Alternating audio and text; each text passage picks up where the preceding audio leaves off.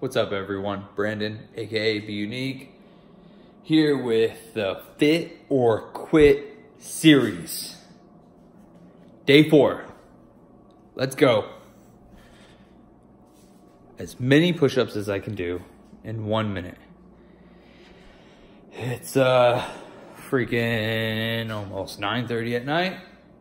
Ready for bed. But gotta get day four knocked out. Let's go.